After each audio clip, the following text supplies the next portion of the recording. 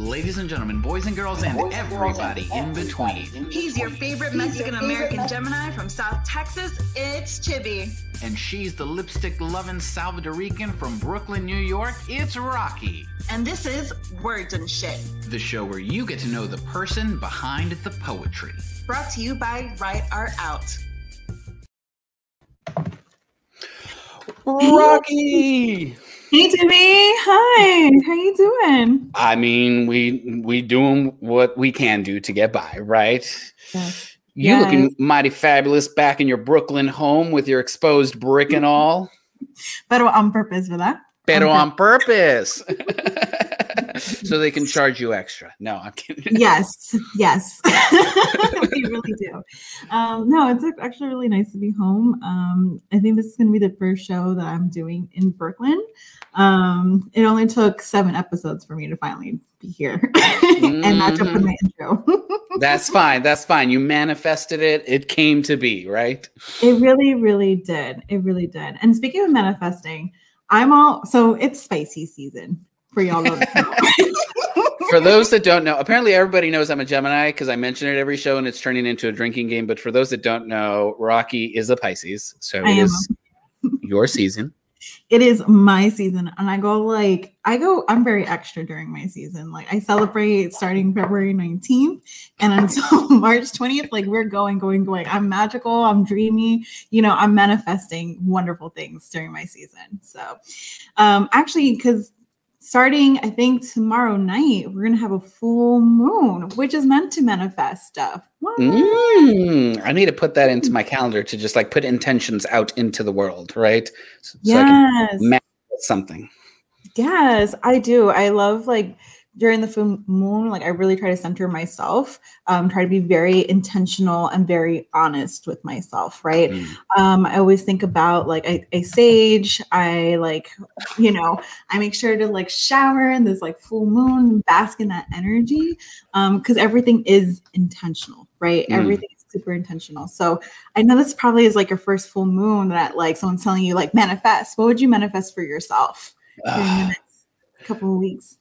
I mean, it's just is there's just so much has happened in the past year that I Mhm. feel like saying just peace of mind. is that Mm. something that we need in our lives right now? Is a little peace of mind. That's definitely what I would just try and put out there because like with everything that's going on, it's like Mhm. I some I need moments of just zen where I can just breathe and not have to worry about the 73 things that I'm currently worrying about, right? Because Yeah. so much craziness is happening outside the world uh, that's affecting my life right so i would i would manifest peace of mind how about you I know. I well, for me, I think I am because it's my birthday season too, right? Feel um that came out very like blues clues. Um, um I am manifesting a lot of love, a lot of Mm. love and growth and release of things that no longer serve me purpose, right? Mm, to feel lighter and not carry on that heaviness. Um, but and like part of that, I always really love to to do is like read poetry that is very intentional and very honest, right? mhm. And I think our guest, right? I was lis- re-listening to a lot of their their poetry, um, and it got me definitely in my feels. Um, a lot like driver's license to the Gen Z. Gen Z. this, is, this poetry is like equivalent to that, but more.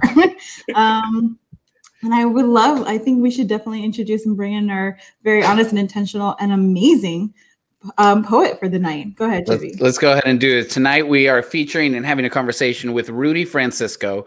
Rudy Francisco is one of the most recognizable names in spoken word poetry. Uh, he has shared stages with prominent artists such as Gladys Knight, Jordin Sparks, Musiq Soul Child, and Jill Scott. Ultimately, Rudy's goal is to continue to assist others in harnessing their creativity while cultivating his own. Rudy Francisco is the author of Helium as well as I'll Fly Away. He is also an individual World Poetry Slam champion, a national Poetry Slam champion, and appeared on NBC's The Tonight Show with Jimmy Fallon. Ladies and gentlemen, please welcome to the Right About Right Right Right Words and Shit Studio. What show am I on? Rudy Francisco. that you got a little confused there. You know, um, that's, that's what happens when you do a lot. You know, you forget which one is which sometimes. What, yeah. What what city am I on? What year is it? What show is it? So thank you so much for having me today. I'm super excited to be here. No, we're definitely excited. Like I'm telling you, I was listening to um, a lot of your poetry, and it just kind of reminded me when I first listened to it when I was like 20, when I was 25, so almost like five, six years ago. Um, and it still gives me a lot of butterflies. So it's, I mean, you're you're a big deal. You're kind of a big deal. So so thank you so much. Thank you so much. Um, so yeah, so uh, I guess I'm gonna read some poems, right? That's what. oh, in a Oh. minute. In a Oh. minute. Let me know. Rudy's like, I'm here. Let's like- go. I Poetry. know you're like, let's go to the words. No, no, no. We're gonna learn about the little shit before. um, so usually, what we do before we, you know, you do your poetry, I like to do a little check-in, especially since you're gonna be sharing a lot of intimate words, you know, and a lot of intimate moments about yourself. Um, so as a friend, right, I feel like now we're gonna be friends here after you share Wow. your words. Um, one question to always start it off is, how's your heart today? How's your heart today? This week? This year? Where you at? Yeah, I'm doing well. You know, um, you know, it's been a weird year, of course, uh, for pretty much everybody. But um, I'm really taking this time to like, you know, hang out more with like with my mom. Um, you know, hanging out with my dad a little bit more as well. And I think the sort of uh, silver lining of all this is that it sort of reminded us of what what's really important. You know, Mhm. that there are a lot of things that we can't know that we can't really do right now and i think we're realizing how how a lot of those things weren't like essential. You know what i mean? To use the phrase of the year uh, like a lot of those things weren't essential that we were doing and now like it's sort of we're sort of you know cut down to the bare minimum. And i think we're, a lot of us are realizing that's re- that's really all we need you know? Um so yeah just really you know um being around my family a lot more you know hanging out with my daughter a lot more. My daughter she's four she's gonna be five in, in april. Yeah which is crazy Wow. because she's human now and has opinions you know what i mean um but, but yeah because like typically i would be gone you know three weeks out of the month. I'd be gone all of february all of april. So um yeah with the you know with the everything shut shut down now you know now i really have time to just like spend around my family and it's been Yeah. it's been a blessing in disguise. Yeah, I, lo- I love that. I uh, my parents are now in their senior years, and so I like made it a point to like, okay, Yeah. every four to six weeks, I'm gonna I'm gonna go spend a weekend with them because like besides just like being together, I know there's like shit that needs to get done around the house that they just can't physically do.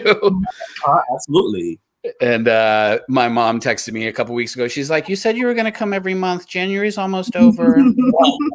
I'm like, "Okay, I, I hear you." Low key guilt trip, mom.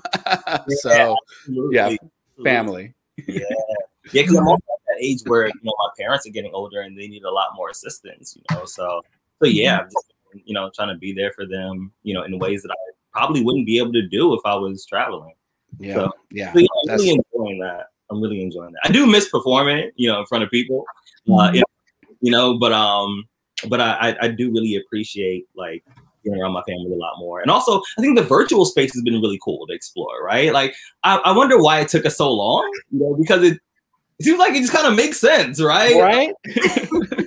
People who don't have access to poetry, um, like Mhm. being on Clubhouse and like you know attending like virtual performances here and there.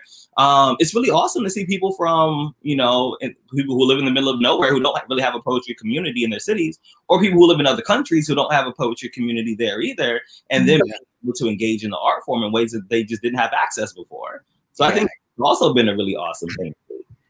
Yeah, it's a Yeah. it's a it's a no brainer, and also I think once the world opens back up, I don't think virtual is going away at all. I don't think it is. Wow. I think it shouldn't, you know? Um, yeah, because I think it's really opened up a whole world for people who didn't have access before. And I think yeah, it just it just makes sense to continue it in some sort of capacity. No, I think that's the word, making it accessible, right? Because I feel like sometimes we're not acceptable, you know, or it's just too late, or yeah. So this is Mhm. definitely, definitely People in New York having to deal with hour long traffic, you know, hours of traffic. All Absolutely, absolutely. And in LA too. LA Yeah. traffic is brutal. Um, Yeah.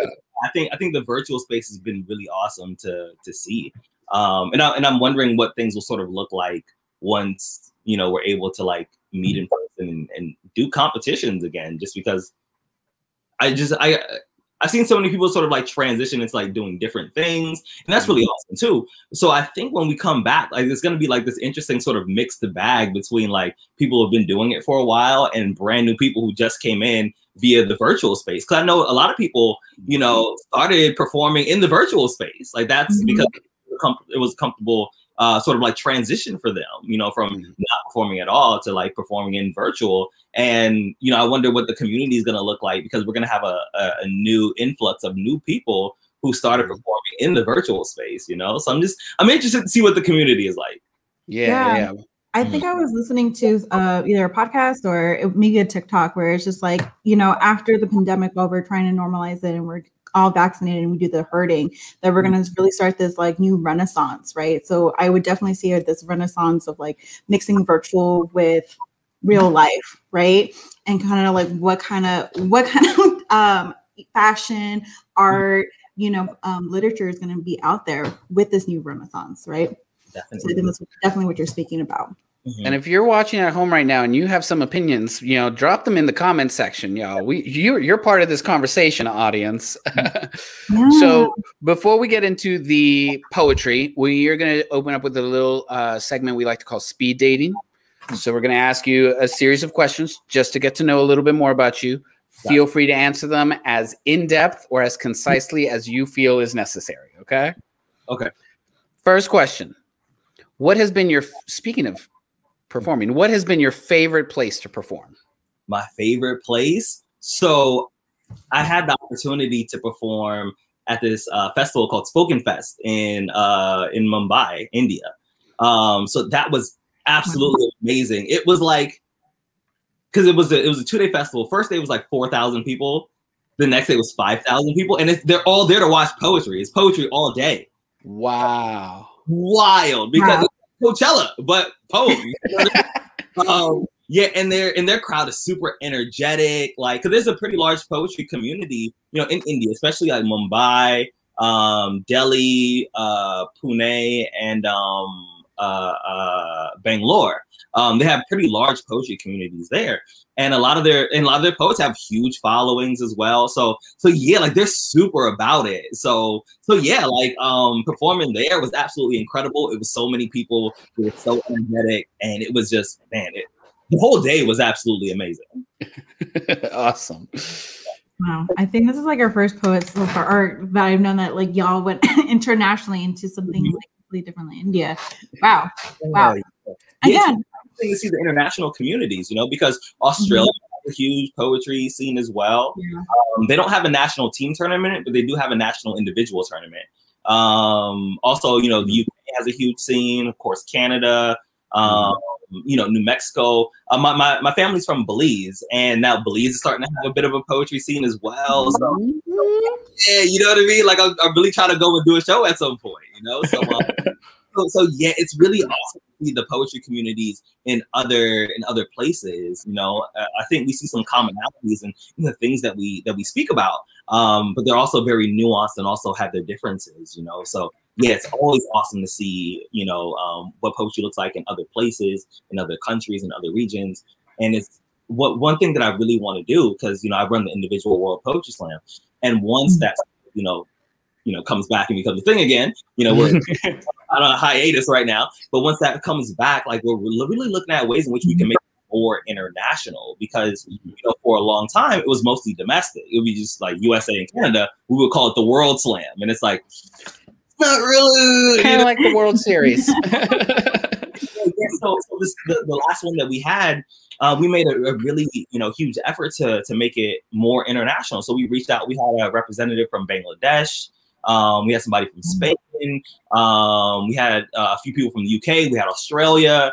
Um, so they, so yeah, we're reaching out to these like different scenes and saying, hey, you know, we would love to have you, you know, here, you know, um, at the individual World Slam, and also looking at ways in which we could help them fund that trip because you know, traveling domestic, uh, that's expensive in itself, but also when you're traveling from another country, like that's even more expensive. So we're looking at ways in which not only can we reach out to these communities and offer opportunities for them to perform at the at the at the tournament, but also looking at ways we can also help fund that. You know, Yeah. yeah. wow. Wow. That's awesome. I know. Next question. I know. Okay. So let's go. Okay. So next question. Um, where is the place you feel most yourself? the place that I feel most myself. Mhm. Um, and I guess it isn't necessarily a, a place, but it's like when I'm with my daughter and my nephews. Mm, That's when I feel most myself. You know, um, I don't know. They just like they just bring something out of me that just makes me feel comfortable. You know, like. Yeah, yeah, I, I, and I and it's hard for me to explain, but yeah, especially like when I'm when I'm with like my daughter, like I don't know, you know, she's just like I don't know. I, I- it's hard to explain it. You know what I mean? Um, but yeah, my daughter just makes me feel just really comfortable around her. You know, um, she's super affectionate, which makes me more affectionate.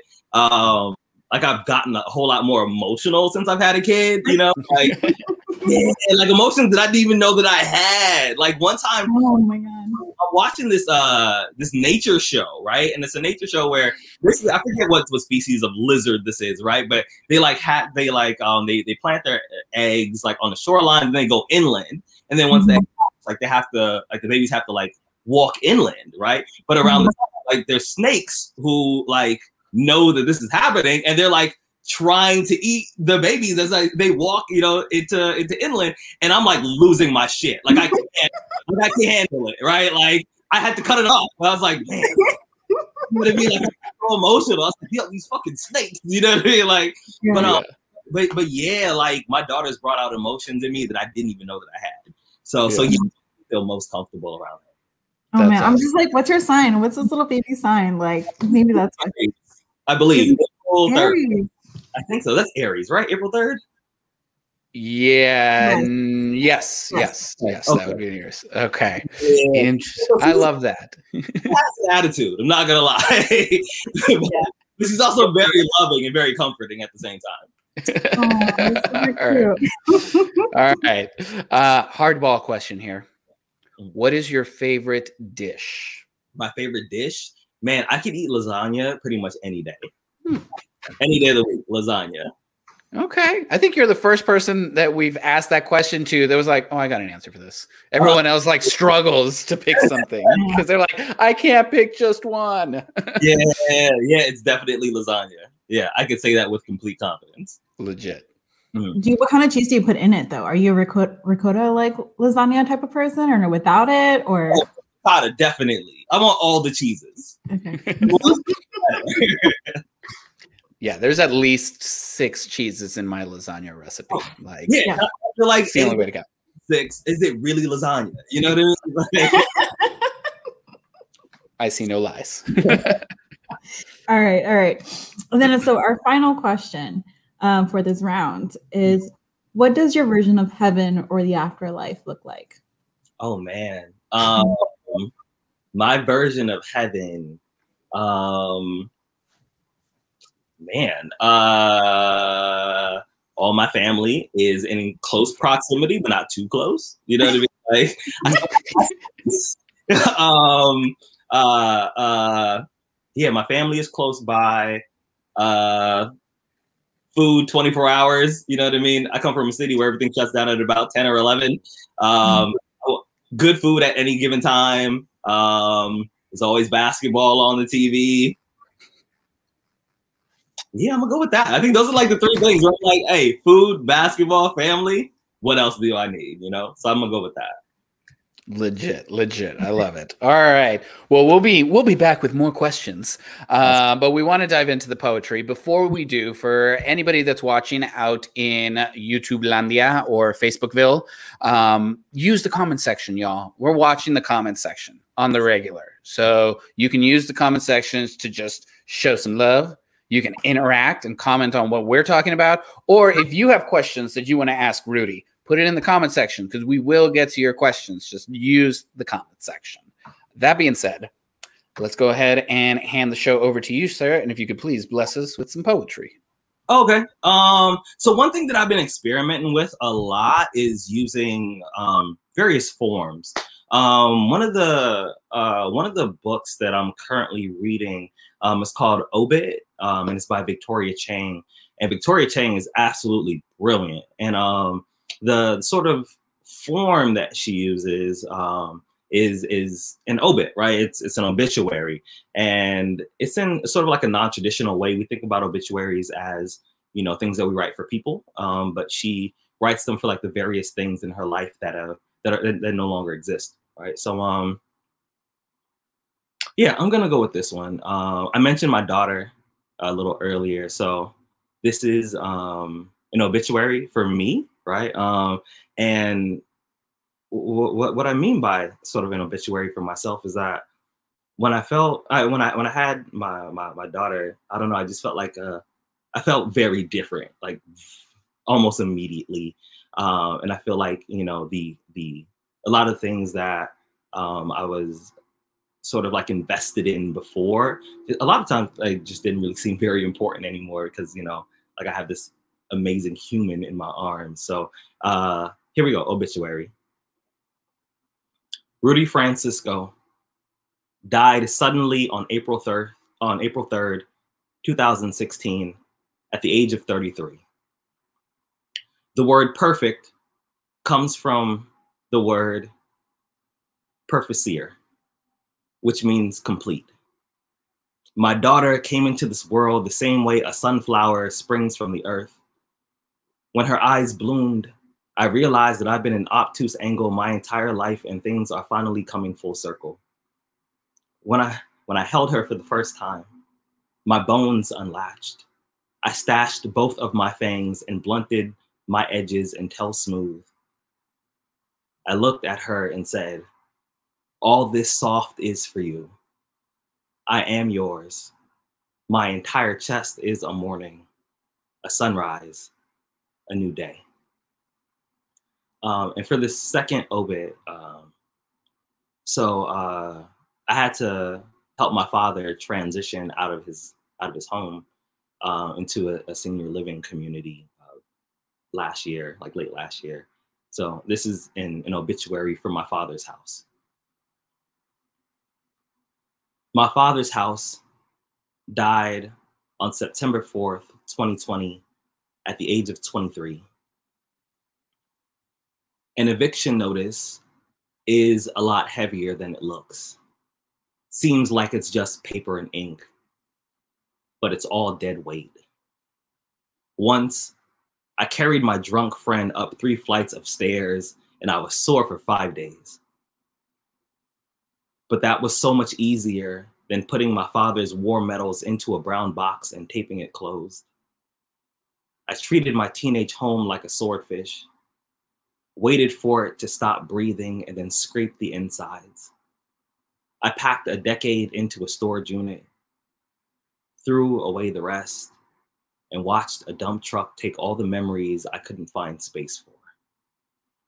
This is a special kind of betrayal, an unforgivable treason.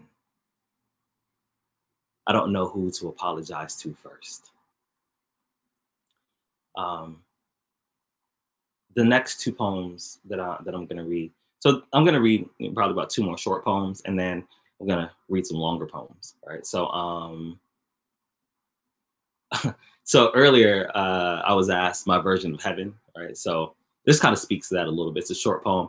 Uh, so these these two are odes. Right. So um this is ode to my mother's plantains. In my version of heaven, my mother's plantains fall from the sky every Wednesday afternoon. It is a sweet rain with burnt edges. All the drops have been cut long ways and fried for five minutes. In the afterlife, this is the only event on my calendar. I step onto the balcony at 11:59, palms up and waiting for the showers. I asked God to put taste buds on my hands so I can enjoy each one twice. And this last one, this last ode is um is ode to summer. Uh, I've been thinking about summer a lot lately. Um, so here we go. Today, the sun decided to act all the way up, showed out like it knew we were watching. Today, the weather refuses to lie. It's been 100 all week, and my sweat glands are having trouble dealing with the truth. But what I know is this Of all the things that want to kill me, the temperature is least likely to succeed. So I wipe my forehead, drink something cold, and I watch the sky slip into something more comfortable, something that will make the clouds wish they didn't leave so soon. All right, so um, so this next poem that I want to read, uh, it's called "Drowning Fish," and I've been thinking a lot about like my mental health, um, and and I've been thinking about a lot how uh, how I often say that I'm fine even when I'm not, even when I'm struggling, and how we how so many people also do this as well. So, um, poem. During the winter of 2015, the residents of Hampton Bay, Long Island woke up to what they say was the worst smell they had ever experienced. Um, mysteriously, overnight, a thousand fish had died in the canal. And after thorough analysis, they found that the oxygen levels in the water were too low and all the fish had drowned. Uh, upon hearing the news, many had questions like, How does a fish drown? Don't they have gills? Don't they have a fin and a tail? They said things like, Aren't they built to survive in that environment? And perhaps this is the best analogy for my depression. Um, this angry deity, this jealous God, uh, this thirsty shadow that wrings my joy like a dish rag, turns every conversation into a conveyor belt that always begins with the phrase, You look tired today. To be honest, Getting out of bed has become a magic trick, and I'm probably the worst magician I know. This sadness is the only clean shirt I have left, and my washing machine has been broken for months. When people ask me how I'm doing, I want to say my daughter's four years old, and I'm still not sure if I'm a good father. I want to say that my dad has been diagnosed with dementia. There might be a day when I walk in the room and he doesn't recognize me, and I've always wanted us to start all over, but I guess you got to be careful about what you ask for. I guess when you pray for something, you have to be a little more specific. I want to say that that crickets have been known to eat their own wings, and I too have a tendency to destroy what helps me get off the ground. I really want to say that I'm not in a good place right now, but that's not a polite answer. So instead, I pretend it's Halloween. I jack lantern my face into something acceptable, and I tell others I'm fine until it sounds like the truth. But sometimes there's a help me chained to the ankle of an I'm doing okay. Sometimes I'm fine is the quickest way to say I don't want to talk about it. Sometimes all the oxygen in the room becomes water. I feel like I'm sinking to the bottom, like I'm like I'm running out of air. But I made a promise to myself that I won't be another drowning fish, that I will not die in this canal. I heard that if you just take a deep breath and, and relax, the human body will naturally float on top of the water. So I breathe and I tell myself that it's gonna be okay. I, I cry, but I tell myself that it's gonna be okay. It's gonna be okay. It's gonna be okay because I know there is a better version of me somewhere in the future. He is staring at this moment right here and he is saying, Rudy, thank you for not giving up on us. A few days ago, I was reading and um, I saw a run on sentence and I thought, you know, like it could have just ended right there. But it found a reason to keep going. I smiled and I said, well, same. Thank you. Thank you. Um, yeah, that was like a, a really tough poem to write. It took me a while. Um, just because a lot of times like I don't really talk about my own mental health. Um, but yeah, I felt like I, I, that was a poem that I that I really needed to write. Uh, the second poem, um, it's about my dad and my daughter, and I feel like it's not done yet, but I also don't know what else to do with it. Um, so I'm gonna I'm gonna read it. Y'all, let me pull it up real quick.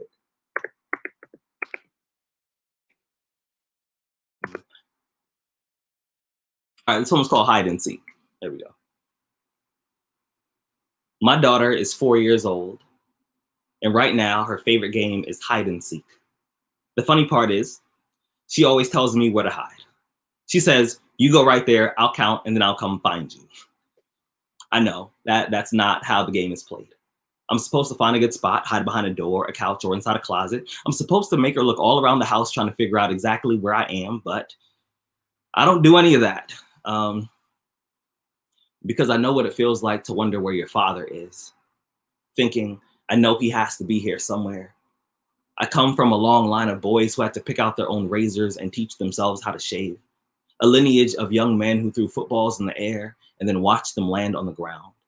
We are echoes in a cave trying to love the frequency of our own noise, but have no idea where it comes from. The first time I got an A on a test, I whispered, I'm proud of you to myself just so I can hear what it sounds like in a man's voice. The first time I scored a touchdown, my football coach hugged me and I said, Thanks, Dad, on accident.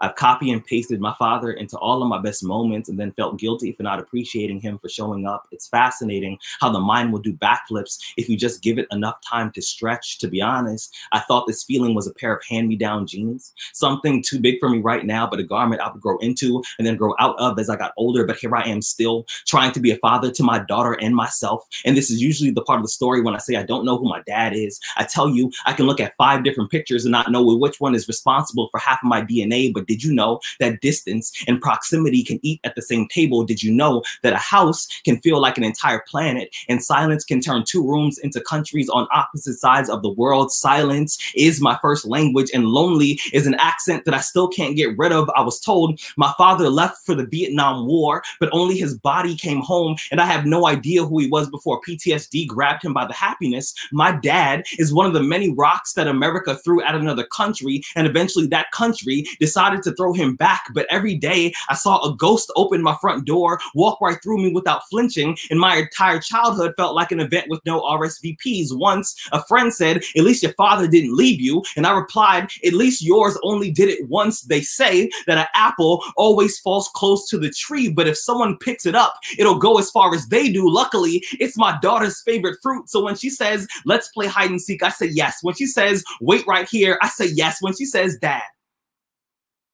you're always so easy to find.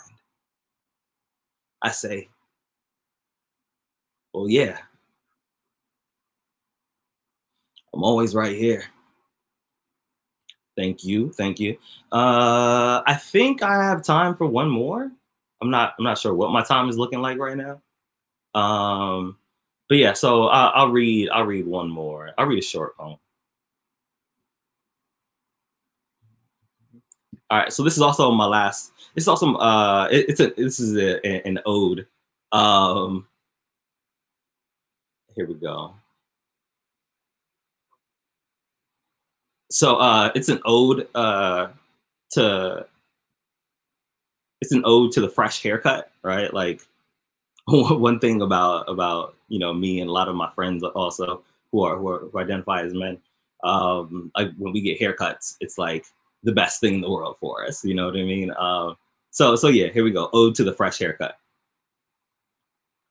there is something remarkable about you maybe it's the clean edges or the flawless lineup, perhaps the taper or the way the fade sunset blends from a number three until skin. You turn all surfaces into mirrors, and we search for ourselves on everything shiny enough to hold a reflection. You're a reminder that our aunties weren't lying when they kissed us on the face and said we were handsome. You hostage all of my camera shy and make me want to be seen from every angle. Bless the harmony of the freshly oiled clippers. Bless the accuracy of the straight razor. Bless the rubbing alcohol and whatever they spray on our heads before we leave. My barber once told me as a kid, he wanted to be an architect or a magician. I replied, somehow you found a way to become both. And that's my time.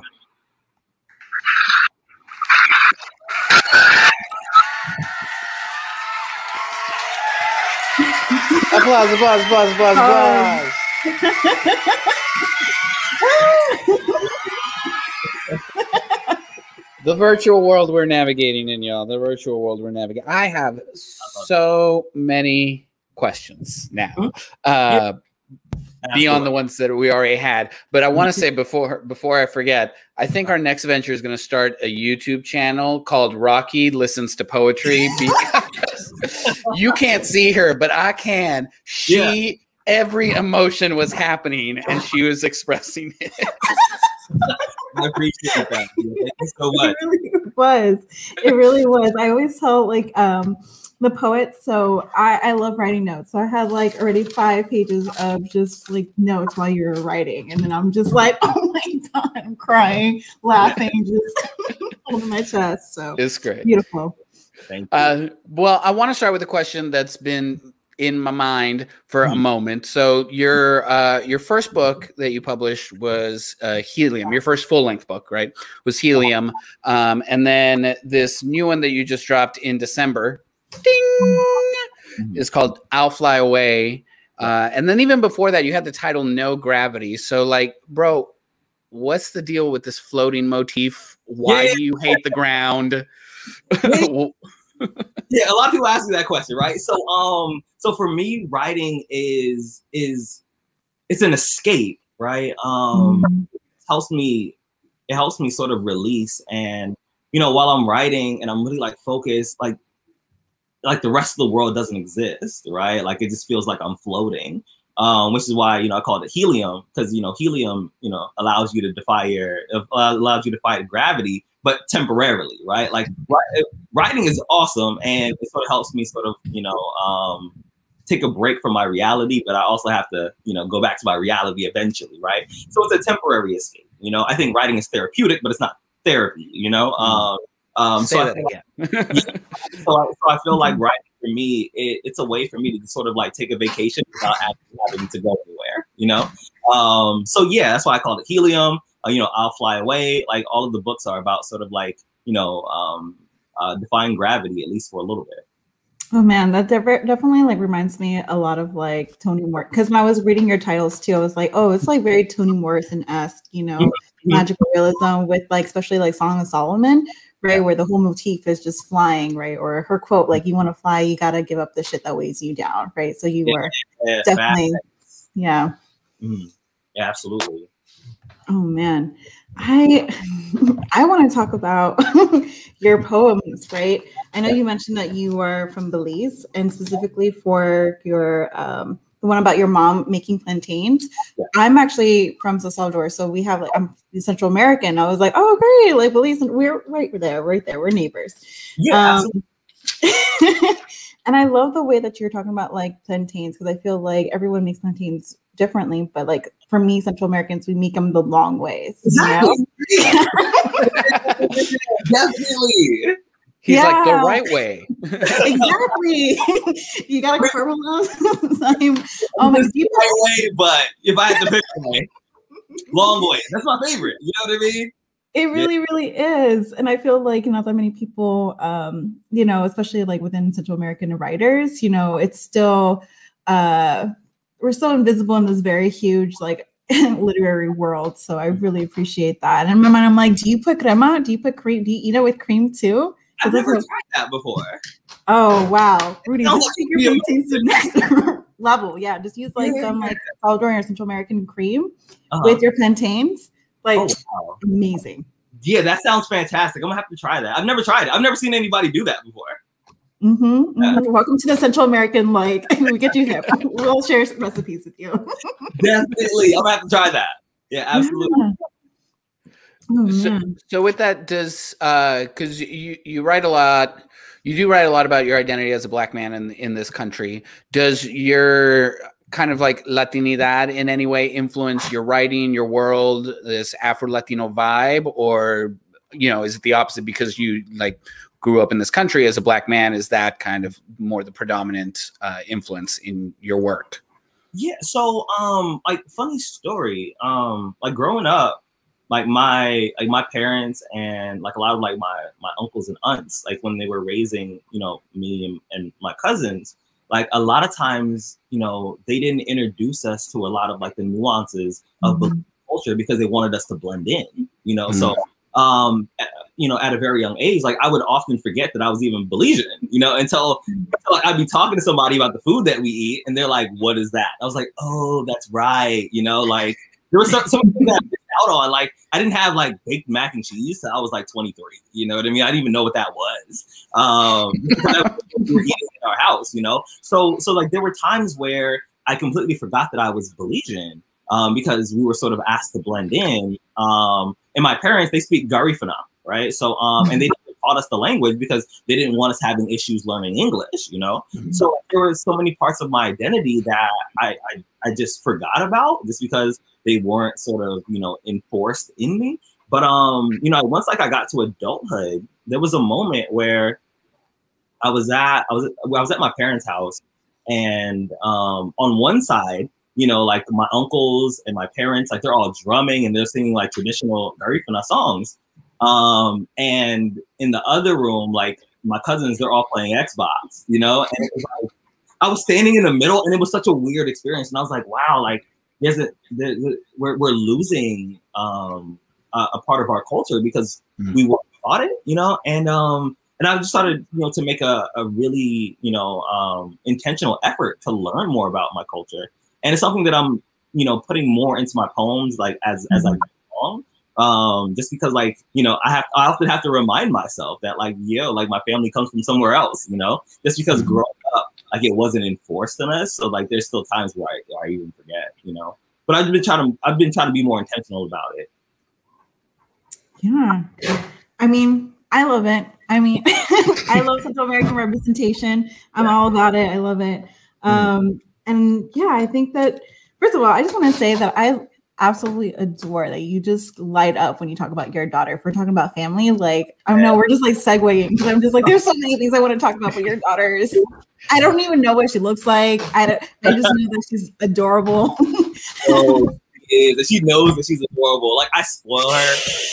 Yeah, it's yeah. it's bad. Like my, my daughter's mother's like, you can't keep buying her stuff every day. And I was like, like, what am I what am I supposed to do? You know? Like she, points at something, I was like, all right, get it, you know? And I know this is not probably what I should be doing, but I, I can't help it. Like she's she's spoiled.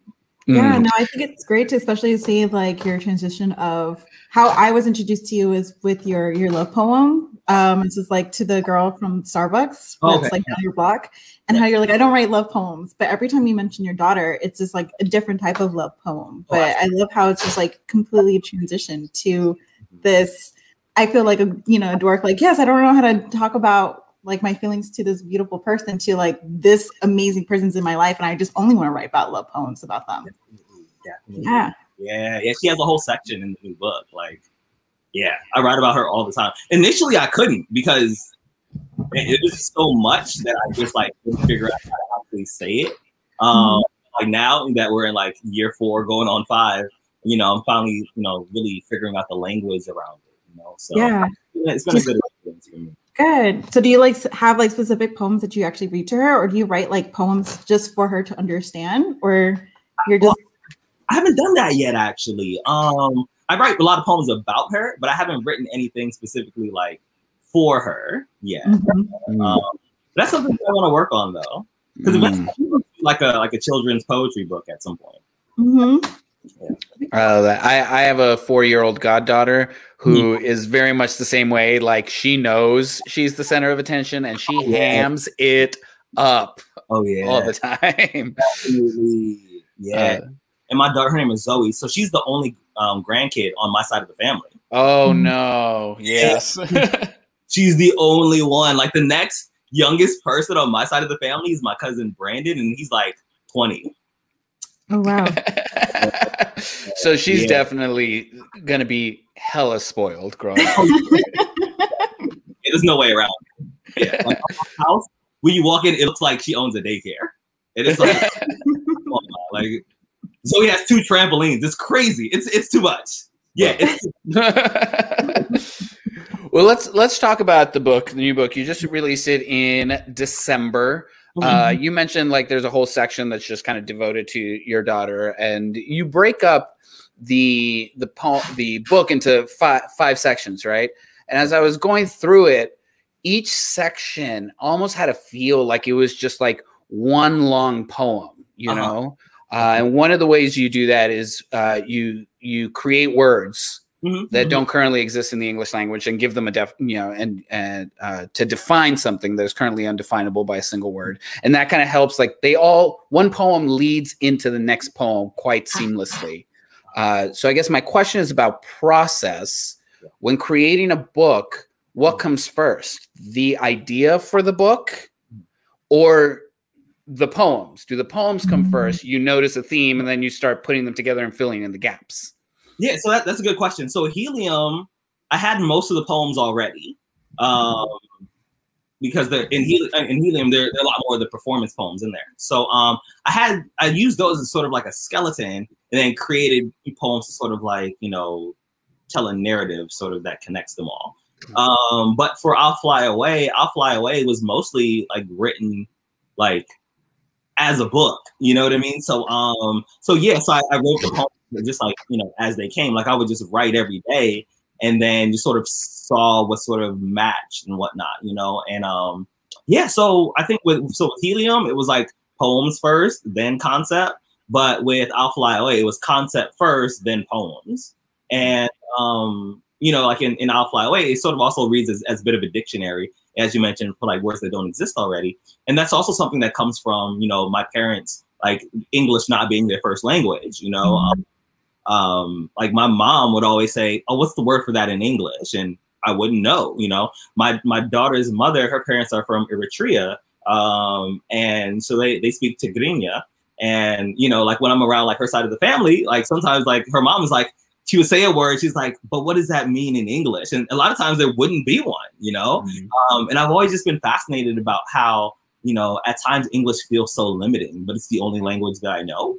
Um, so the, yeah, I had to figure out how to create new words for the things that I didn't already have language for. That's so good. That's so good. I know. I I always love just like um just how people are just so creative, especially like what you're saying, this like in between of us being Spanglish but not and like and not Spanglish, but at least like come between two languages, right? And it's always really hard where we're stuck. We're like, well, we know this word and we don't know this word, you know? Um, so that's perfectly, perfectly great. Go ahead. I'm like, Chibbi, I have like five questions in a row, so you continue. While you try and capitalize. Um, yeah. So then I guess my next question then is um, about like publishing, right? Mm-hmm. So you your first four books, think four, uh, were very much self-published. Mm-hmm. Uh, and then you had Helium with Button Poetry, and then you went uh, you published this new one with Button also, who's kind of like primarily known for their work more in like the poetry video realm versus as a like quote unquote publishing house. Uh-huh. I guess what are what are kind of your thoughts on or feelings on traditional publishing presses and mm-hmm. going down that route of like submitting manuscripts mm-hmm. to try and like get that to happen? Yeah, so so for me, um, because I had I had known people who, who run Button because before they they were know, before Button there were there were a slam team. You know, um, mm-hmm. they were the Minneapolis team, soul boxing. So um, I, have had a good relationship with them like since I think I met them all. I met a lot of them in 2009, 2010 ish. You know, and then you know when they started Button and then they started the the publishing sector of it all. Uh, you know, they just asked me. They were like, "Hey, like, would you be down to do a book?" And at that time, you know, I had the chat books, but you know, like chat books are sort of like they're, they're low risk. You know what I mean? like, oh, this isn't good. It's just a chat book. You know what I mean? Um, yeah. So, so when they asked me if I'd be down to do a book, like I was, I, I, I asked them, I was like, "Do you think I could do a book?" You know. Um, yeah. I also didn't really look at myself as a as a writer per se. Like I, I looked at myself as a performer. You know, mm. um, like a lot of my poems, like people wouldn't see them written down because I didn't even know how to format it so that somebody could read it in a way that would make sense, you know? Yeah. So um, you know, when they when they asked me about it, like I had a long conversation with them and I was like, I'm gonna need a lot of help, you know. Uh and they're like, hey, we can we can give you the help that you need, you know, we believe this can work. So I, I said, okay. And they were like, hey, send us your manuscript. And I was like, I don't have a manuscript, you know. they were like, okay, we're gonna assign you somebody who's gonna help you put together your manuscript. And they did that and uh, Michael Mlekoday, who is a brilliant writer, somebody that I have a, a, lot of respect for. He was my first editor, you know, and you know, he gave me a lot of tips, and I sent him, you know, versions of the manuscript, and he sent me feedback. And you know, a- after it was all done, I, I, had a product that I was really happy, you know, with. Yeah. So for me, um, like it was really a lot of it was just networking. I had already known the people who started, and they reached out to me. And the reason why I went with them again, you know, is because you know, I really like the work that they do. And, you know, they have a large reach. And I think for me, uh, you know, because I had, I had, had some options on the table for different like publishing houses. And and I really wanted to go with the publishing house that was gonna, you know, that that one was already invested in what I do, right? Because yeah. I consider myself to be a spoken word artist, you know, and um sometimes publishing houses they don't really know what to do with that really but but I knew that button, you know, this is where they came from. Like they they they know about slam, like they know about you know um, the the traveling poet life. They they run a venue. Um, they already have a platform, you know, for video. So it just it just seemed to make a lot of sense just to go with, with them, you know. Um, so that's how I chose the the publishing mm-hmm. that I chose, and and yeah, I've been very happy with them. And you know, I mean, there are quite a few publishing houses as well, like Not a Cult, there's Write Bloody, mm-hmm. um, I believe Haymarket. Um, yeah, there, there are quite a few of them out there. You just gotta find one that sort of, you know, um, that you trust and you vibe with. Yeah, that you trust, that you vibe with. So you know, a a, a, a company that's gonna really invest in you. You know, yeah. I you have to think about okay, like what benefits do I get from being a part of this publishing house mm-hmm. that I don't get publishing independently, right? Mm-hmm. Like that's the biggest thing. Because I mean, I even though it seems more glamorous to go with the publishing house, you know, that might not be for everybody, you know, because you know, when you go with the publishing house, like you, you get a royalty check, but it's only a percentage of what you, you know, of, of what of what your book makes, right? Yeah. So a lot of times like if you feel like you can you can um, move more units than your publishing house you know it might make sense to you know publish it independently just hire an editor hire a graphic designer to you know do your covers and just release it by yourself yeah like, that's also a very solid option well it's it seems like it was a very uh, smart choice because it was number one on on Amazon for for a minute in what like three different categories I think it was. So yeah, props.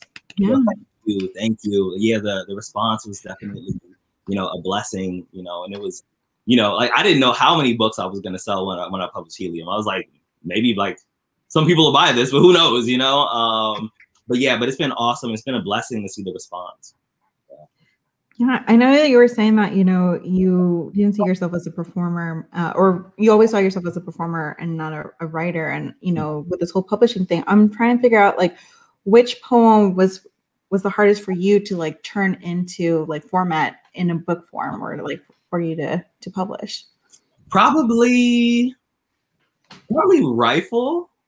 I think that was the hardest one because I didn't really know much about like formatting and line breaks and you know what I mean? Like it was yeah, and it's and it's a lot of text. So I was just like I was lost, you know. Um, and I had to really lean on my editor. I was like, what what should we do about this you know and he offered some suggestions for me but yeah like i think um, for me because I, I wanted to read the same way that i would read it you know mm-hmm. um, so you have to adjust your line breaks accordingly and you know even with that like even if you adjust your line breaks perfectly everybody sort of reads it differently because they're mm-hmm. coming with their own experiences how they how they hear the words, how they see the words, you know. So um, so yeah, I think that was the toughest one, you know, just like taking spoken word pieces that are longer and figuring out how to break them up into like chunks that are very like legible that mm-hmm. don't exhausting to read and also like taking out like little words like every now and then like i would put in like a, a that that didn't need to be there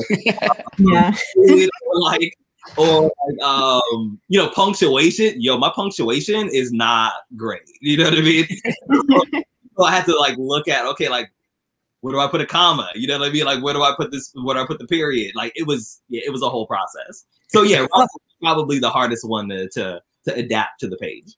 Oh wow, yeah. I feel like it's poetry. That's the whole point. Like you don't need to even have any punctuation if you don't want to. yeah, it's not me. Yeah. license, you know? Um, yeah. Yeah, that was probably the hardest one. Yeah, I think speaking of rifle, you performed that in front of Jimmy Fallon, right? On the Tonight Show. Mm-hmm. Yeah. Because you're like low key poet, you know, like you're poetry famous, like you're kind of a celebrity. I don't know. You you're out here just chilling in your hoodie, just like whatever. I'm just really cool. Like, uh, you got to meet Jimmy Fallon because your words are like that, like popping that much um, which is again so like brown, you know, um, groundbreaking, right? So you're like really one of the first poets to really go on YouTube, like have a YouTube viral um, video. Um, you performed in the Tonight Show. Um, you're again Mapada is a breakthrough poet. Um, are there any of these? Are these uh, breakthroughs novel or new for your poetry? You know, uh, uh, and and they, they are. Um, you know, be, being on Jimmy Fallon was a huge opportunity.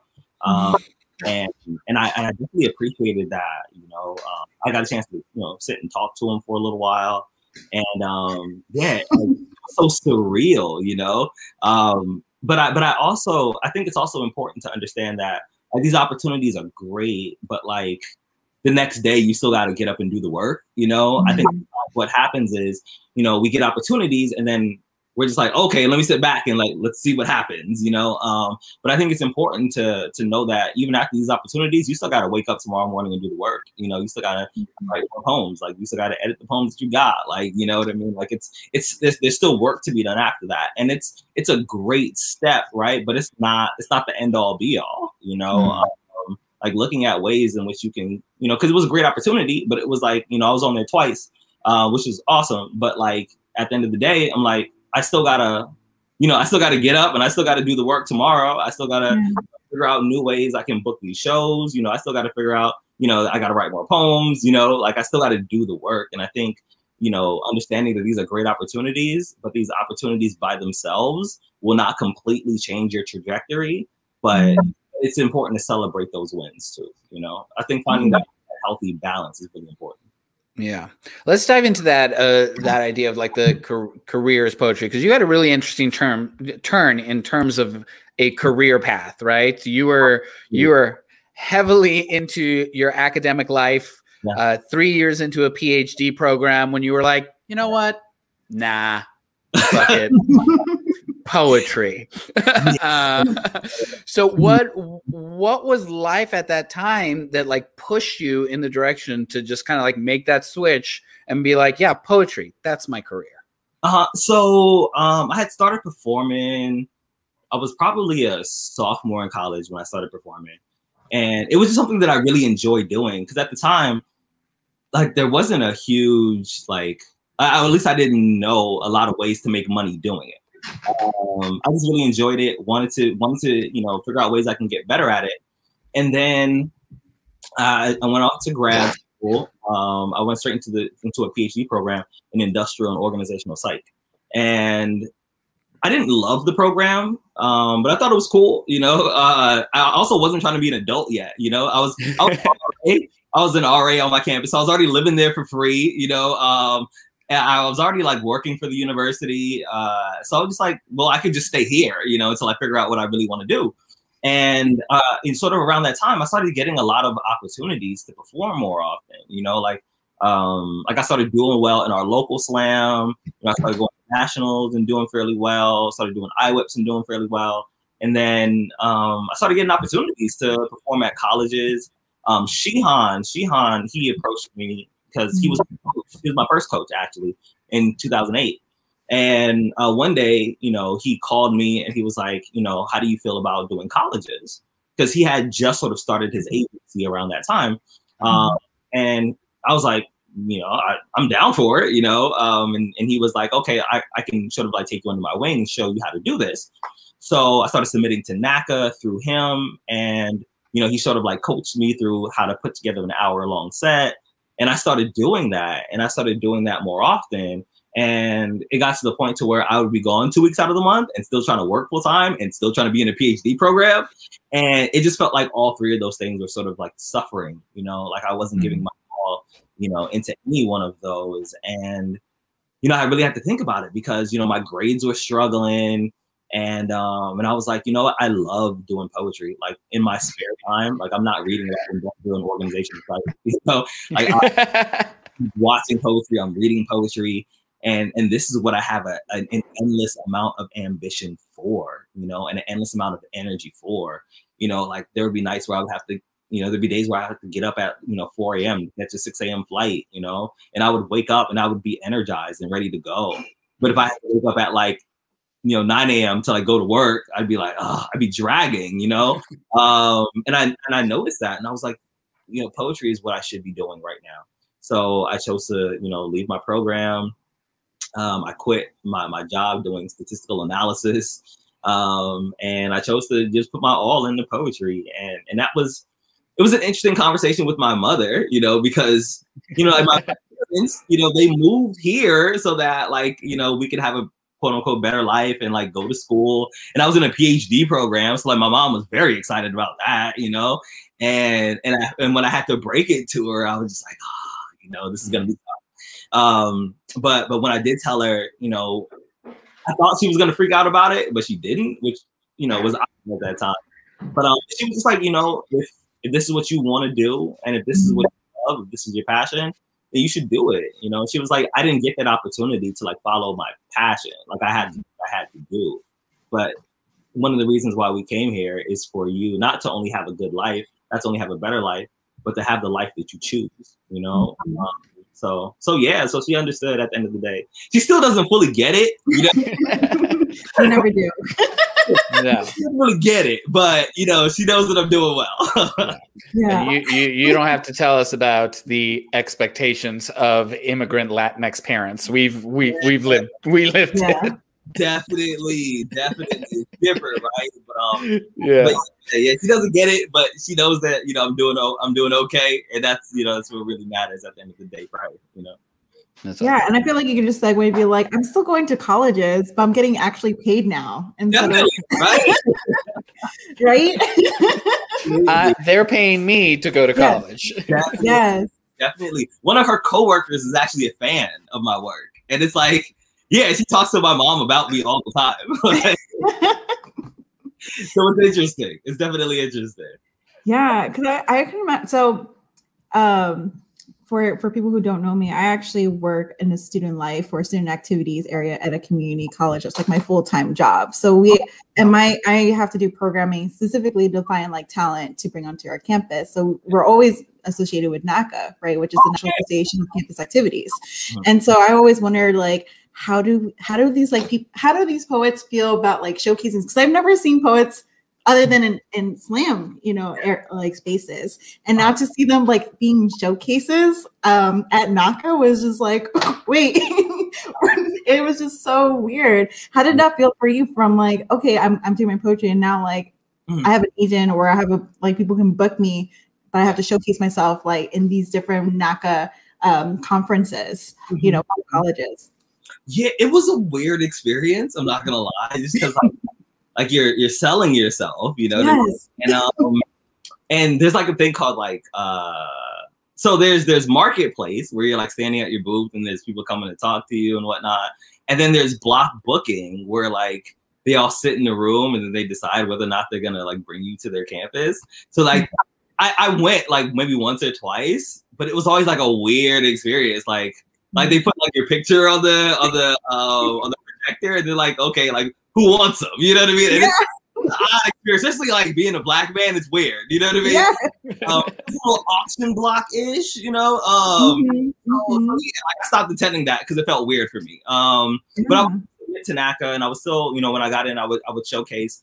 But um, in the past couple years, I've sort of transitioned out of that. Um, just because a lot of times when you get booked, sometimes you don't know what you're going into. Like it could be a theater, it could be a cafeteria, it could be like a multi room.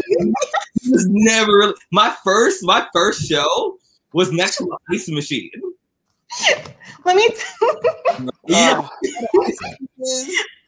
Let me tell you, as someone who has to like not only book like these like vendors, but also to book the room reservation, it's we try really hard and like yeah, it was my first show, my first time doing a whole hour set. There's an ice machine right next to the stage, so people are getting ice, and it's like, there's like where like people are ordering food, and he's like, yelling out orders like quesadilla, like, and I'm like, mm-hmm. damn, you know, this is like, is this what I signed up for? You know, um, but uh, but but yeah, like uh, because also there were some really phenomenal shows too, where you where you mm-hmm. show up and it's a full theater, there's people there, um, but yeah, but also sometimes you know you would show up like there would be three people in the audience, and you still got to do mm-hmm. it, you know, so mm-hmm. um, so yeah, so like what I what I started doing maybe two years ago, uh, actually probably about three, so um what I would do is I would just rent venues in like various cities and sell tickets. Um, so that's like what I've been doing for the past few years. Is just uh, there's a there's an app called um, dang, what is it called? Let me look at. Uh, what is it called? It's uh oh Peerspace. Peer Space. it's like Airbnb but for venues. And uh, what I would do, like, I would just pick cities and you know just book venues and then like sell tickets on Eventbrite. Um, so yeah, I started doing that about three years ago, and that's sort of what I've transitioned into. Like I still do colleges every now and then, but um, but yeah, but that's like the the new thing that I've been you know trying to spend more of my time on. And navigating that in a virtual space has worked. How? so so yeah, so I, I had to pivot again, you know. Um, because I, I still do like the virtual college shows and whatnot. But um, what I've leaned more on in the past year or so, um, I've also got into like the, the merchandising end of things. Like, you know, I find posters, I sell those uh like four times a year, and I sell them like six hundred at a time, and that's been doing really well for me. Um, also like the book is doing fairly well. Also, um, uh, I'm getting into like doing like crew neck sweatshirts and um, like I'm gonna be releasing like a couple jackets soon. So yeah, so really looking at the merchandising end of things and figuring out ways like I can, you know, sustain myself, but like also not really have to leave the house like that, you know? Yeah. Um, yeah. I feel yeah. like if you had a Rudy Francisco like bow tie, because I know you like to wear bow ties. Oh, yeah. That would be like definitely, definitely. I I Loki was like, do I need to dress up? He always has like a vest yes! and things like that. Like I think I need to. I think I need to dress up for tonight's show. And then the day just got away from me. Yeah. Same here. Same here. I was like, oh my god, like Rudy's gonna come here, and then I should wear a blazer. Like my hair should be a little better. and then he yeah. showed up, I was like, oh my god, great. We're gonna be like just chill and all that stuff. That's great. Rudy Francisco is nothing if not crisp and clean. Okay, Always. both in person and in his writing. Always. I try. I try. But yeah. That's awesome. Well, no, it's so great that you've been able to just kind of like navigate this career as a poet, pivot as needed, and uh, obviously you're doing really well for yourself uh, and uh, in your successes. So congratulations on all of that. Uh, Noir wants to say to inbox you whenever the sweatshirts oh. and the jackets drop. oh, yeah, I got you. I got you. well, I just I just have one more question. Um, you mentioned earlier in terms of like the way that you kind of like categorize yourself. You you know like I'm a spoken word artist, right? That's kind of like uh, was your statement. Um, and we do this a lot, right? Like uh, Rupi Kaur is Instagram poetry. Oh. Buddy Wakefield is spoken word poetry. Like, mm-hmm. I guess my question is, do these labels even matter? And mm-hmm. if so, why? And if not, why not? You know, in your opinion. Yeah, because I think I think we often categorize ourselves sort of unnecessarily, you know, yes. um, because I think there was a point where people were more just like, okay, this is what I do, right? Uh, especially when you look at like, you know, spoken word in comparison to like what they call traditional verse, which I think is a more because spoken word came before right? Um, people mm-hmm. they can write things down. So technically, spoken word to be traditional verse, but whatever, right? Yeah. Um, the conversation, we'll call you know uh, the more academic written style. We'll call that traditional work. So I think you know for a long period of time there was uh, a sort of um, you know there's like this divide between people who did you know spoken word and people who did traditional verse. And I think now what we're what we're seeing is that there there are more people who are sort of hybrids, you know, and there are people who do both very well. And then you know like we have what we call like Instagram poetry, but then there are people who do spoken word and there are people who do, you know, traditional verse and they also post on Instagram, you know? So I think like a lot of these titles when they were I mean they were very specific, maybe like five years ago, but but now like so many people are are are are, are crossing over and, and doing a little bit of all of those things. So yeah, I don't think those titles necessarily still stick, um, even though people do still use them often. Mm. I totally mm-hmm. agree. And it's one of those things where like I remember hearing the story about how like Patricia Smith was once introduced at a panel as the slam poet, you know, and it's like she's uh-huh. so much more than that. You know, like that would never happen these days, but this was uh-huh. a while ago. And it's like, yeah, you, it's this crossover between page and stage, right? Yeah. And uh-huh. how you can navigate both worlds and yeah. blend them. And I don't know if we need those labels necessarily anymore. Yeah, I think we often use them to say, "Oh no, they don't do what I do," right? Like that's what mm. I think we often use them almost as like slurs, right? Where it's like, "Oh, they're Instagram poets," because I've been called an Instagram poet like several times, and I was kind of like, ah, you know, whatever, you know what I mean? Um, but but but yeah, I think we often use them as slurs, you know, where they're like, "Oh, they're spoken word artists," and it's like it's a way for them to say, oh yeah, they do something that is less than what I do, right? Mhm. They're Instagram posts. I think they people use terms like that to sort of take you know jabs at other writers. When I Mhm. feel like I feel like there's space for everybody, and it's fine. Like just do what you do, and you'll be okay. You know, you don't have to everybody else is doing, and you know, saying negative comments about the ways in which people write. Like if you you just focus on yourself, and you know, you do what you do, and you work on excelling at what you do, and you know, taking advantage of the opportunities that come your way, like you'll be fine. Perfect. I love Ooh. that. All right. I think that's a g- that's a good little punctuation on the show, right? So. Just Or no do what you do. fuck no right? punctuations, right? It's. Uh, well, thank you so much for this conversation, Rudy. Uh, it's been absolutely a joy to get to know you. Um, Yes. If you could please just close us out with one last poem. Okay. Um, I'll, I'll do my honest poem. Like this is uh this is a poem that you know whenever I don't know what to do, this is the poem that I do. So here we go. I was born on July 27th.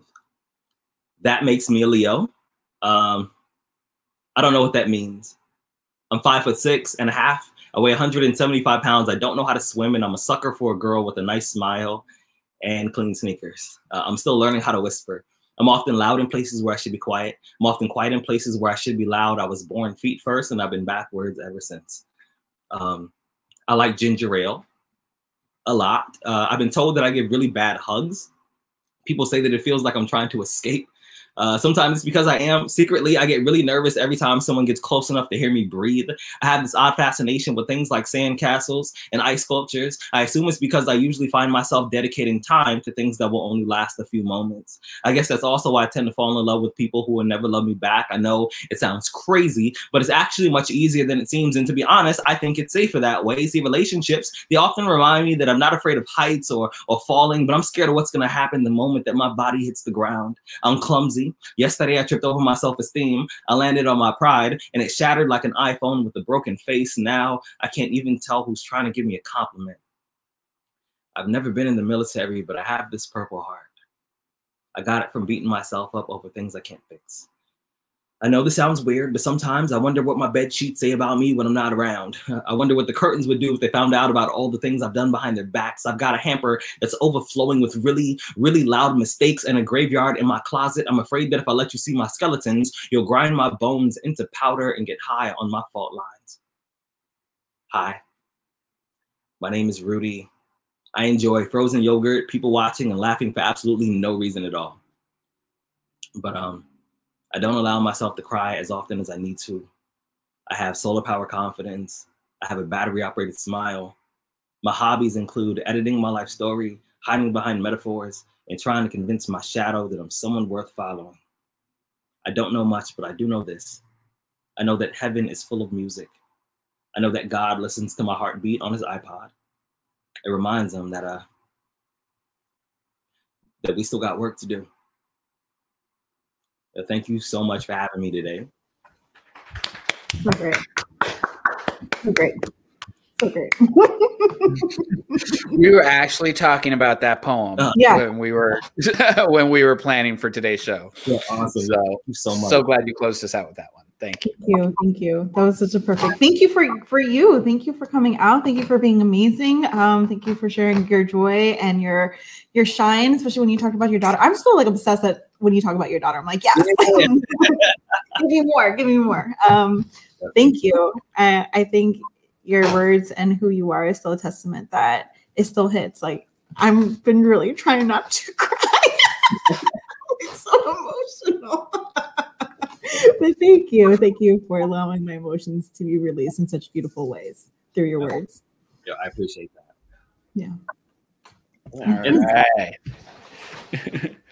All right. That was Rudy Francisco, y'all, joining us here on the stage. Uh, thank you, sir. Uh, thank you. Thank you for having me. No problem. Thank you. You're such a Pisces, Raqui. I really am. And it's my season. and I don't care. After all the emotions. Oh man, no, really, really fun, phenomenal conversation. Trying to, we always like to wrap up the show with kind of like a moment of reflection and like one word to kind of like sum it all up. Um, I'm feeling. Is is is there is there uh, a noun version of genuine? Genuineness, genuinity. I'm I'm gonna make up a word. See, I'm I'm just gonna pull Yeah. a page out of Rudy Francisco's book and just make up a word for something that doesn't exist right now for this moment of just like the state of genuineness. Mm-hmm. That's that's that's my word. Where where where are you where are you at? Oh, I feel late. I feel like Mm. that's that is where I'm at right now. Especially, you know, if we're th- thinking about the whole conversation and his idea of um, writing as a way to escape, to feel lighter, to to fly.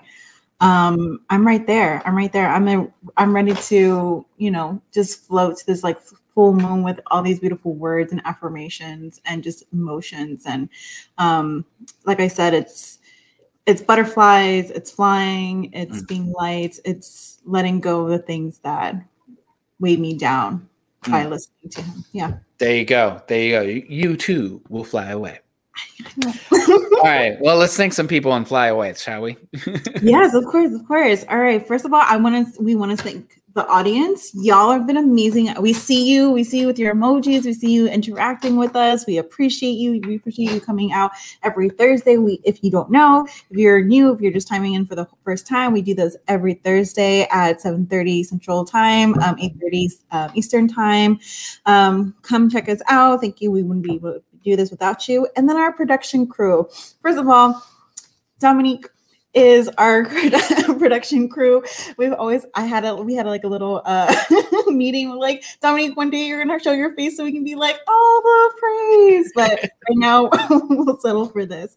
And then of course Chris Condi for our introduction song, which is bomb. So thank you, thank you so much. And then, of course, whether you're tuning in for a multiple time or for the first time, make sure you follow us on Instagram and Twitter uh, at Words and Shh, so that you can uh, be informed about everyone that's coming up. Because y'all, we have an amazing lineup in the coming weeks. Ooh. And if you want to, you can also watch past episodes on YouTube and our podcast as well. Um, or you can listen to even this one that's going to be available um, starting tomorrow and any podcast that you can listen to any platform um, but check us out definitely check us out and share and like send them to all your friends all right? to your mama to your family to your daughters go for it Subscribe, rate, review us, like all those things. And uh, speaking of amazing lineup, next week, our feature coming to you all the way from New Orleans is going to be the one and only Frequency. So excited to have them on. Until then, y'all stay safe out there. Bye y'all. Have a great night